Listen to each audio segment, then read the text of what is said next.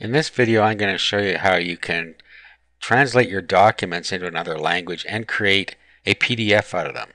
Now you might want to do this if you've created, if you've purchased a package like a PLR package that includes a doc file and you want to translate it to another language and sell it in a different market.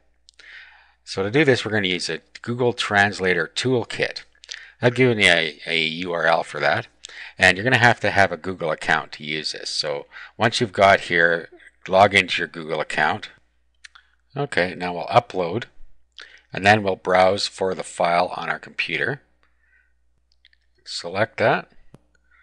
And then down here, we pick our translation. So we're going to go from English and we're going to go, well, I'm going to just pick French. I already had that set actually. But you can pick any language pair you want there. Now we're going to do upload for translation and it converts it for us.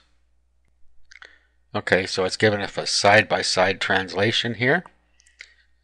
So you can go ahead and edit it if there's any problem here that you know about.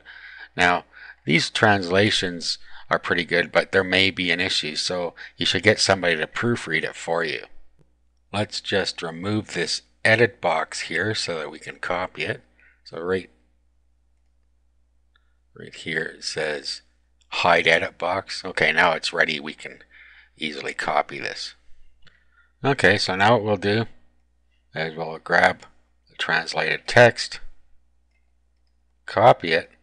Okay, now what you want to do is use OpenOffice to convert it to a PDF file. So if you don't have OpenOffice, you can download it at openoffice.org. Okay, so let's paste this in here now. Okay, so there it is. Now what we do is do File, Export as PDF, click Export here, and then we'll give it a name, whatever you want to call it. I'm just going to call it Translated, and save. Okay, now when we go, here it is here, translated.pdf,